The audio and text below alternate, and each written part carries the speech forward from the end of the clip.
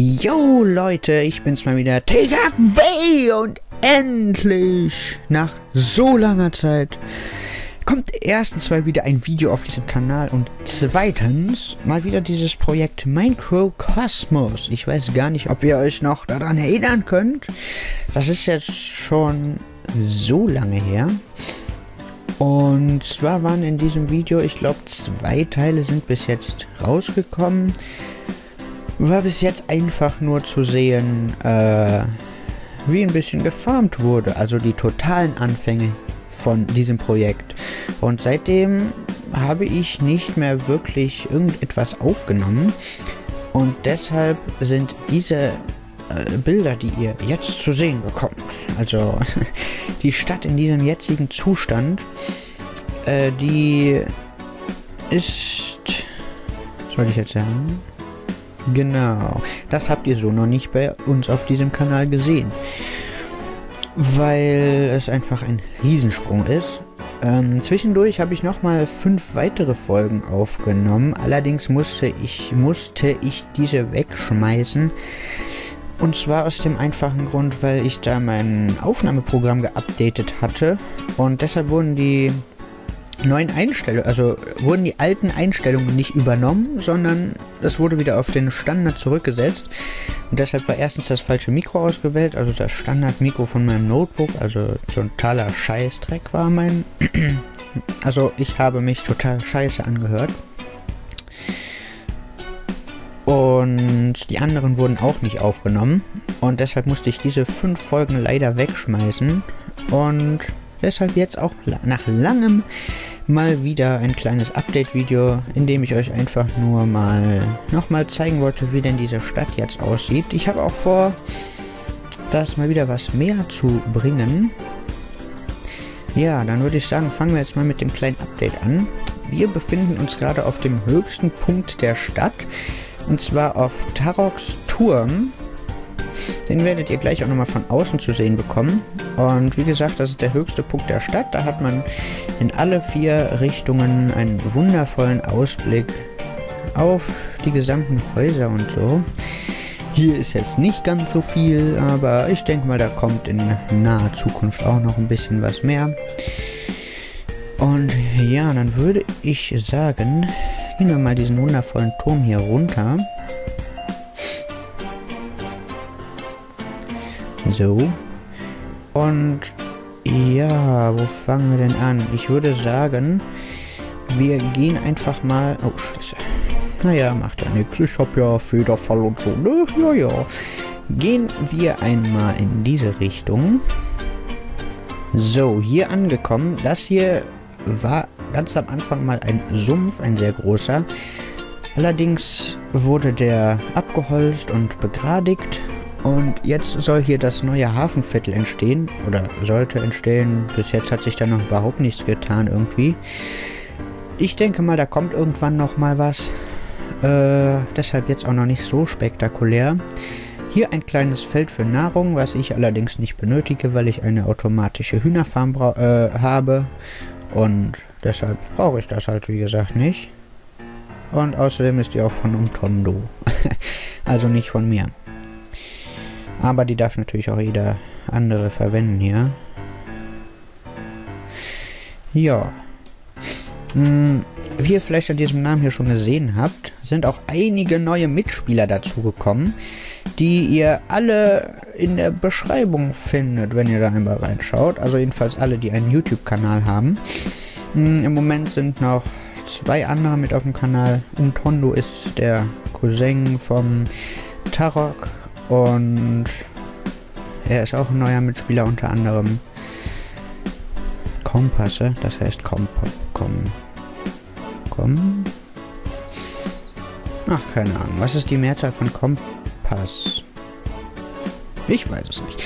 Auf jeden Fall seht ihr hier einen kleinen Turm vom guten, also das, der ist eigentlich vom Tarok. Also er, den hat er mal in irgendeinem Tutorial gebaut. Das weiß ich noch. Und der Untondo hat diesen dann hier auf dem Server nachgebaut. Dann würde ich sagen, gehen wir einmal weiter nach da. Das ist das kleine Haus von... Okay, lasst Chicken leben. Von Umtondo. Irgendwie kommt mir das ein bisschen so vor, als ob diese zwei Häuser... Ja, die sehen doch voll identisch aus. Oder? Ja, die sehen voll gleich aus. Naja, ich würde sagen, wir gehen hier mal rein. Ich denke, da hat er nichts dagegen, der Leber. Und schauen uns das Ganze an. Hier ein schöner Stadtplan. Okay, gut zu wissen. Okay, hier ist also jemand. Und wo die anderen sind, weiß ich nicht. Ist ja eh nur einer dabei. Äh, einer noch dem Server sonst. Ich glaube, der buddelt irgendwo. Ja, hier ist ein kleines Bett. Was hat er auf der Rüstung? Schutz 4, Atmung 3, Haltbarkeit. Okay, ist ja schon mal nicht schlecht. Und Schutz 3 und Haltbarkeit 3. Alter, voll gut. Ich habe gerade erst angefangen mit Verzaubern, also noch nicht so gut. Ach ja, übrigens, wenn ihr euch wundert, was ist das denn eigentlich für ein Resource Pack? Und zwar ist das eine kleine Zusammenstellung von mir. Äh, ist zwar noch nicht wirklich fertig, aber ähm, ist schon ein sehr großer Teil der Texturen vorhanden. Hier die Rüstung ist zum Beispiel noch nicht annähernd fertig. Das ist die Eisenrüstung. Da hatte ich auch erstmal mit eine Pause gemacht, weil mir die irgendwie ein bisschen zu anstrengend war. Also teilweise sind die Texturen von mir, teilweise von irgendwelchen Resource Packs übernommen. Hm, je nachdem, wie mir das halt gefallen hat. Oder ja, ich habe mir halt gedacht, wenn es doch Texturen schon gibt, die richtig geil aussehen und gut hier reinpassen, dann kann man die doch auch mal übernehmen. Und wenn das halt nicht der Fall war und ich selber gute Ideen hatte für irgendetwas, dann habe ich die halt selber gepixelt. Ist, das Ganze ist noch in Arbeit, deshalb fehlen auch noch einige Texturen. Und ja, dann würde ich sagen, gehen wir mal auf die andere Seite. In das Haus da drüben, was mir ein bisschen, für mich ein bisschen so aussieht, als wäre das identisch wie das andere, aber ich weiß es nicht genau. Deshalb würde ich sagen, schauen wir uns das mal an. Na, es hat auf jeden Fall Ähnlichkeiten, aber 100% identisch ist es nicht. Und ist er hier zu Hause? Äh, Terror Knight. Ach, der ist ja eh nicht auf dem Server. Verzauberte Rüstung. Aber wieso verzaubert man eine Lederrüstung? Mit Schutz vor allem. Naja, verstehe ich nicht. Jeder wie er meint. Hm. Okay, hier ist so ein kleines Brauzimmer von ihm. Er braut nämlich recht viel, habe ich gemerkt. Holz und Technik. Okay, Technik also. Zeugs und Krimskrams. Okay, Zeugs und Krimskrams. Verstehe. Ja. Ähm, gibt es hier noch irgendwas? Hier geht's noch runter. Schauen wir doch da mal runter. Oh, hier geht's einfach raus. Okay. Da können wir gleich nochmal hingehen. Oder gibt es hier noch irgendwas? Ne, sieht nicht so aus. Es ist recht klein das Haus. Ich würde sagen, dann gehen wir tatsächlich mal hier weiter zu diesem Haus da. Sieht mir ziemlich nach einer Hexenhütte aus. Halt ein bisschen größer und so. Aber es sieht ein bisschen wie eine Hexenhütte aus. Und oh, jetzt bin ich hier bei den Kühen drin, ey. Und da war ein Creeper, den muss ich natürlich kurz killen, nicht, dass der irgendwas kaputt macht. Vor allem nicht, wo hier diese ganzen Hühner sind und so. Weil das hier ist eine kleine Farm. Ich glaube, die ist auch vom Terror. Wie heißt der? Terror Sepp ist das, glaube ich.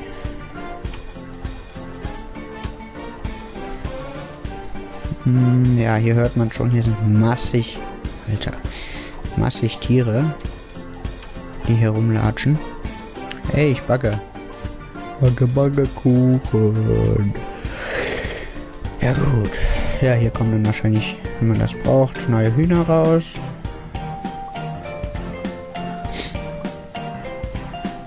Ja. Nein, ich bin da drin. Ah, sehr gut. Die, oh, ja. So.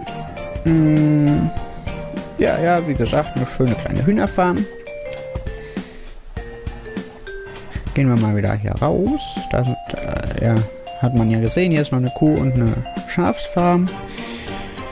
Dann äh, gibt das mal einen kurzen Cut. Bis wieder. Nein, das lohnt sich doch nicht. Okay, es gibt doch keinen Cut. Dann würde ich sagen, bewegen wir uns jetzt mal. Nein, stopp. Gehen wir erst noch darüber. Ich glaube, das habe ich mir noch gar nicht von Namen angeguckt, auch wenn es schon relativ lange da steht. Das Teil hier. Und zwar Castle Yogure. Oder wie auch immer dieser Kack ausgesprochen wird. Das Ganze hat der Thymalus gebaut. Okay, eingerichtet hat es also nicht. Oh, ein Nether-Portal. Okay. Will ich gar nicht wissen, wo das hinführt. Ja, das ist so ein bisschen asiatischer Baustil. Stil, genau. Baustil, würde ich sagen. Sieht recht nice aus, tatsächlich. Und ja, gehen wir mal weiter. Das zweite asiatisch angehauchte Haus ist das da. Und zwar das Haus vom Thymalus. Das ist der Klufenserturm. Auch wenn ich da... Ey, wo ist das Schild denn? Das fand ich nicht gut, ey. Ich habe dann nämlich Klofensterturm gemacht. Ja, haha, lustig. Oh, ähm...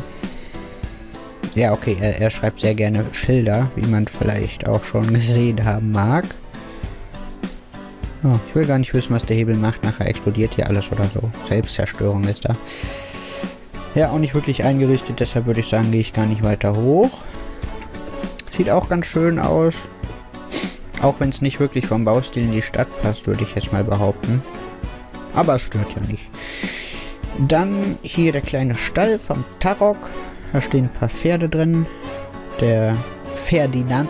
Ferdinand, ja, ja, das ist ein gutes Wortspiel tatsächlich. Dann ein namenloses Pferd. Yuki Kase. Und noch ein namenloses Pferd. Die gute Plötze, das war, das waren drei, ich glaube drei waren das, drei Pferde vom Tarok, die aber alle drei gekillt hat durch seine Inkompetenz.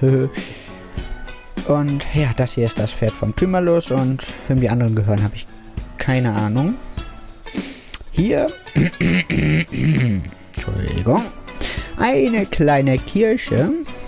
Dann können wir auch mal reingehen, denn die ist sogar ein bisschen eingerichtet. Hier ist der Altar. Warum da eine orangene Wolle ist, weiß ich nicht. Dann ein Kreuz aus Gold, was man auch besteigen kann. Warum auch immer. Wahrscheinlich ist das noch da vom, also als da gebaut wurde. Hier ein Weihwasserbecken, würde ich sagen, ist das. Und ja, hier die Bänke. Hier ist wahrscheinlich der Beistuhl. Dairujos neue Beistube. Okay, ich habe zwar keine Ahnung, wer Dairujo ist. Wahrscheinlich sind das alles Insider von irgendjemandem. Auf jeden Fall hat diese Kirche hier auch der Tarok gebaut. Und ja, sieht doch echt cool aus. Hier ist die Mitte, wo mal alles angefangen hat. Da steht das Nether-Portal mit ein bisschen Lava, die leider keiner wieder richtig aufgefüllt hat, nachdem der Tümerlos da ein bisschen was rausgenommen hat. Ja, da hat halt alles angefangen. Die Mitte, die solltet ihr auch noch aus letztem Video von dem Mikrokosmos-Projekt kennen sogar. Hm, allerdings sah die dann noch ein bisschen anders aus. Ja, dann kommen wir jetzt zu meinem Haus. Das ist nämlich das gute Stück hier. Von außen sieht es nicht unbedingt so spektakulär aus. Ist halt ein bisschen... Naja, ich weiß nicht, was das für ein Baustil... Warum sage ich immer Stil, ey? Es hört sich so scheiße an, ey. Baustil. Ja, hat sich seit langem nichts mehr getan von außen. Deshalb würde ich sagen, gehen wir mal rein. Äh, hier auch noch ein bisschen eingerichtet, weil ich bin nicht unbedingt so der Profi im Einrichten. Ja, genau, hier noch so ein kleiner Balkon. Den hat man ja von außen auch schon gesehen. Der geht einfach einmal rum. Aber das, wo ich mich eigentlich größtenteils aufhalte, wenn ich in diesem Haus bin, ist hier der Keller. Hier mein Mitbewohner ein Stein.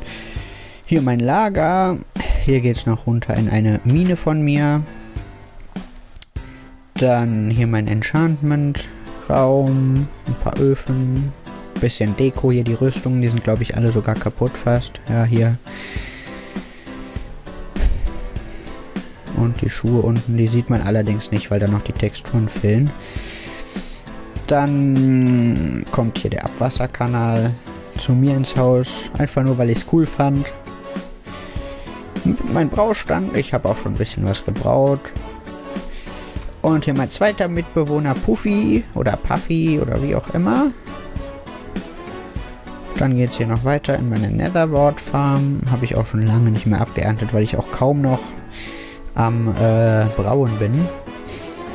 Dann gibt es hier einen kleinen versteckten Knopf, den man nicht unbedingt sehen sollte. Jedenfalls, wenn man nicht reingehört. Eigentlich hätte ich das jetzt gar nicht in... Boah, ich dachte gerade, der wäre in, in meinem Geheimgang, ey. Ja, das habe ich eigentlich einfach nur eingebaut, weil ich ein bisschen was mit Redstone machen wollte. Ähm, wo diese Tür hinführt, das Wer hat hier einen Block geklaut? Boah, regt mich das auf. Überall werden hier Blöcke und so ein Scheiß geklaut, ey. Das regt mich voll auf. Ja, muss ich dann nochmal ausbessern. Da werdet ihr dann bald auch noch die andere Seite sehen von diesem Gang hier. Der muss eigentlich auf sein, oder? Muss der auf sein? Ja, der muss auf sein. Ähm, ja, das ist hier halt so ein kleiner Geheimgang, den ich halt nur gemacht habe, weil ich was mit Redstone machen wollte. Hm, hier ist meine Hühnchenfarm, wo jetzt allerdings nichts drin ist. Mit der habe ich sogar schon mal den Server zum, zum Absturz gebracht. Weil ich die aus Versehen vergessen habe anzumachen. Äh, auszumachen. Und dann konnte einfach keiner mehr auf den Server. Cool, oder? Ja, hier ist eine kleine Monsterfalle, die allerdings nicht wirklich funktioniert, weil da kaum was spawnt. Ich weiß auch nicht warum. Ich muss die, glaube ich, mal noch weiter ausbauen. Ich gehe jetzt einfach mal da hoch, auch wenn da nicht unbedingt irgendwas Spektakuläres zu sehen ist. Ähm ja, hier ist halt eine Kiste mit Zeugs, was ich benutzt habe. Da sind die einzelnen Ebenen mit Monstern, die dann hier runterfallen und dann da drüben runterfallen und dann da unten sind mit einem halben Herz. Und ja, das war es auch schon mit meinem Haus. Hier der Aufzug. Und zwar ist das ein Lorenaufzug. Der ist meiner Meinung nach ganz praktisch. Deshalb habe ich den auch bei mir eingebaut. Gehen wir mal wieder hier raus. Direkt meinem Haus gegenüber steht das Haus vom Tarok. Auch sehr gut gelungen, wie ich finde. Das war auch mit eins der ersten Häuser auf diesem Server. Genau wie meins, zusammen mit dem da vom Thymalus. Und dann hier war das Anfangshaus vom Dom. Ich weiß gar nicht, ob, ihr das, ob das schon zu sehen war in dem zweiten Video. Das weiß ich gar nicht. Aber müsste eigentlich. Das ist... Pff, oh, Entschuldigung. Das wurde aber inzwischen abgebrannt, weil es nicht besonders gut aussah und da jetzt was Neues hingekommen ist, wie man schon schön sehen kann. Gehen wir mal zum Tarok rein. Äh. So, hier eine kleine Ecke mit Öfen und so ein Zeugs. Hier ein bisschen Verzauberung. Verzauberte Bücher. Hier hat er ein bisschen mit Bannern rumprobiert. Die hat er ja auch an seinem Haus benutzt. Und ein Hebel, der nichts macht. Okay. Dann geht es hier noch hoch. Hier ist ein kleiner Plattenspieler mit einigen CDs. Und seinem Bett. Und hier ist normalerweise seine Dierrüstung drin, wenn die nicht mehr ganz ganz ist. Hier ist noch sein Dachboden mit einem Huhn drin im Kessel. Äh, also ich weiß nicht, wie das da hinkommt. Ich habe da auch nichts mit zu tun, nein. Oh, guck mal, da ist sogar eins. Schon drin. Ja, hier braut er halt ein bisschen. Auf seinem Dachboden hat er als seine Brauecke eingerichtet. Aus seinem Fenster zurück, beziehungsweise aus der Tür raus, wenn man die Tür benutzt und nicht so wie ich aus dem Fenster springt. Hm, gehen wir mal zu seinem Nachbarn und zwar ist das das Rathaus mit einem, was ist das? Aha, Samenspenden. Das hört sich dezent falsch an. Samenspenden für neue Scheune. Ja, ja. ja, hier ist halt so ein kleiner Enchantment Table. Der ist auch schon von Anfang an da. Mit einem kleinen Springbrunnen und dem Rathaus. Hier ist das schwarze Brett.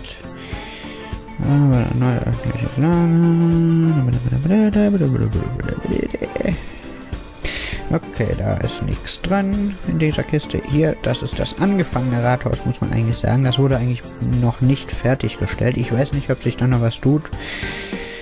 Da hatte sich der Tarok dran gesetzt, aber er hatte da irgendwie, ich glaube, keinen Bock mehr drauf irgendwann. Hier ist das öffentliche Lager. Oder, ja, das öffentliche Lager halt kann man kann sich halt jeder was rausnehmen und jeder was reintun, wenn das sozial ist. Hm, ja, das war das Rathaus. Hier hatten wir eigentlich schon von Anfang an vor, Villager reinzutun. Das hat aber bis jetzt noch nicht geklappt. Dann direkt davon gegenüber hat der Doben auch endlich mal wieder angefangen, ein Haus zu bauen. Er hat nämlich lange Zeit ähm, nicht hier auf diesem Server gespielt. Ich weiß nicht, er hat irgendwie keine Zeit oder so. Auf jeden Fall hat er jetzt auch mal wieder angefangen, sich ein Haus zu bauen. Hier sieht man noch mal MC Doben. Hier ein bisschen Küsten, ein bisschen hier, ein bisschen da. Hier kommt man auf sein Dach drauf. Wo geht's hier runter? Ach ja, nee. Ja, hier seine Treppe regt mich total auf, weil hier ist direkt mein Keller hinten und da macht irgendjemand dauernd hier diese Steine weg und stört mich damit. Ah! Weil ich kein Loch in meinem Keller haben will. Ja, das war MC Dobens Haus. Direkt daneben nochmal ein kleines Haus vom Tarok. Das hat er gebaut vor kurzem irgendwann. Ja, sieht ganz nice aus. Dann ist hier Toroburs Bäckerei. Mit Hühnern drin? Warum sind da Hühner oben dran? hier wird irgendwie oft mit Hühner Hühnern getrollt. Ich weiß auch nicht warum. Ist eigentlich einfach nur total ätzend. Oh, Schafe. Alter, sind das viele. Okay. Und dann geht's hier noch runter. Alter, was ist los mit dem? Guckt mal, wie viele Schafe da sind, ey. Okay, wenn man sonst nichts zu tun hat. Wo führt der Gang hin? Ach, weiß ich nicht. Habe ich auch keine Lust jetzt zu gucken. Hm, wo geht's hier raus? Nein, ich wollte ja nochmal nach oben gucken. Okay, da sind die Hühner. Ja, jetzt wissen wir auch, warum da Hühner sind. Weil er da seine Hühnerfarm hat. Ja, hier geht's wieder raus. Sehr schön. Hier nochmal ein kleines Haus vom Tarok. Er hat also hier wirklich echt sehr viel gebaut. Ähm, ich glaube, es ist noch nicht ganz fertig. Ich glaube, das Dach fehlt noch. Aber es sieht doch schon mal ganz schön aus, würde ich sagen. Und dann würde ich sagen, war es das erstmal mit der ersten Folge. Denn ich werde das Ganze ein bisschen cutten müssen in zwei Teile, beziehungsweise splitten müssen in zwei Teile, weil das sonst echt viel zu viel ist, weil es hier viel zu viele Häuser gibt und alles neue. Also neue Häuser und so viel zu viele. Und das passt alles gar nicht in eine Folge. Deshalb würde ich sagen, wenn ihr den Rest noch sehen wollt, dann schaltet doch beim nächsten Mal wieder ein. Die Folge danach werde ich wahrscheinlich wieder ein bisschen was bauen oder so und euch dabei mal ein bisschen was erzählen, warum jetzt so lange eine Pause war und so. Denn das kann ich ja jetzt nicht hier auch noch gleichzeitig machen. Auf jeden Fall, wenn euch das interessiert, schaltet beim übernächsten Mal wieder ein und ja, dann würde ich einfach jetzt schon mal sagen, wir sehen uns dann bei der zweiten Folge, Leute. Tschüss!